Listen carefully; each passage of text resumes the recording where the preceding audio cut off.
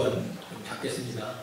제가 이 작년에 황덕식 선생님께서 작곡가님께서 순천에 오셔가지고 그제 연주를 보고 한번 여기서 참석해 있으면 감사하겠다고 왔고요. 제가 1년 반 전에 편도암 3기를 갖다 진단을 받아가지고 작년 9월 달에 이제 1년 만에 제가 그 순천하고 서울에서 독주회를 했었어요.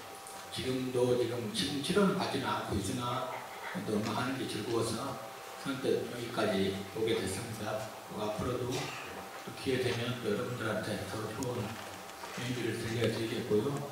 오늘 뭐 제가 이렇게 준비를 많이 못 해 와가지고 이 반주자 선생님 저 때문에 고생하시는데 반주자 선생님한테 박수 한번 쳐주십시오.